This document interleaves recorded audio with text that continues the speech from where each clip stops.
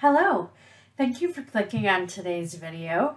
Today we'll be talking about scatter plots. Now, we've talked about scatter plots before, but it's an important topic and it's valuable for you to see multiple examples. So, today we will be going through how to describe a scatter plot. And if you remember, that includes five different questions that you're going to ask of a scatter plot. One is, is there even a pattern? Two is, if there is a pattern, what is the pattern? Three is, what's the direction of the pattern? Four is, how strong is that pattern? And then the fifth thing is, are there unusual data points, or in other words, outliers? Now remember, the first question, if you say no, don't go any further. Because if there is no relationship or no pattern, there's no point in describing the rest of it. It's going to be kind of unimportant. This is the scatter plot we're going to be looking at today.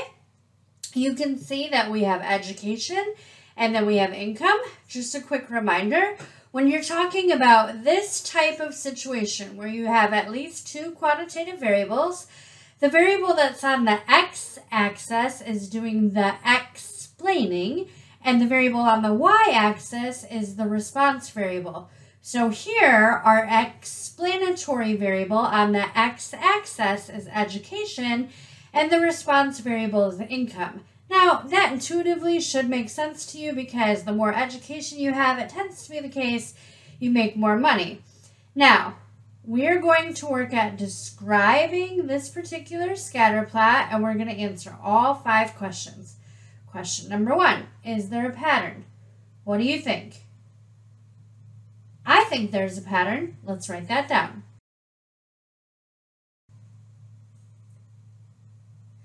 Question number two, what is the pattern? Now when you look at this scatter plot, what do you see? I think I can see kind of a line forming. So we would call that linear. Let's write that down.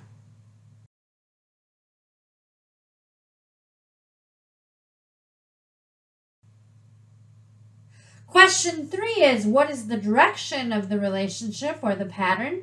And if you notice when you look at the XY, and remember you read it like you read a book, so as you progress from the left to the right, you can see that the Y variable or income increases as education incomes. So as X is increasing, Y increases as well, which makes it positive.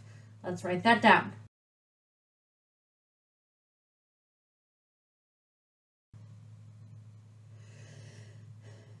So the fourth question is, how strong is the relationship? Well, if you look at these dots, they actually are fairly tight together.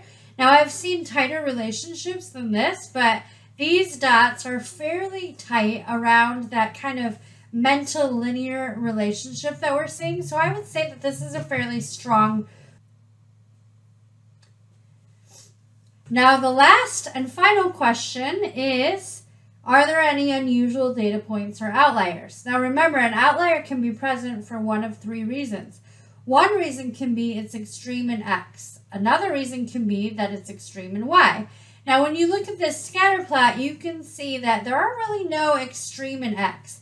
So we have from six years of education up to about 16, so no outliers because of that reason. You'll also notice that for the income, it's going from zero to about a little over 25,000. So none of those values are extreme in Y. So those two reasons don't count. However, you will notice that there is a value up in that right corner that's kind of strays from the overall pattern, and that's the thin outlier, and I would consider that to be an outlier. So when you say that there's an outlier, it's valuable for you to say where where it is. So this is about, I don't know, 13 years of education and about $26,000, I would say. So it would be 13 comma 26. Remember, that's how you write those coordinates. Now, the other value over here uh, that is in this top right-hand corner, I'm not sure. That That's kind of subjective. So that's one of the stinkers about scatter plots is that when you're identifying outliers, it's not always a black and white you might say something is an outlier, other disciplines or people from other disciplines might not Um, I, I don't know is that I would consider that as far away, but this one I think definitely, definitely is. So that's all we have for scatter plots in today's video. In future videos, we'll talk about how to create a scatter plot ourselves with the programming package R. See you there.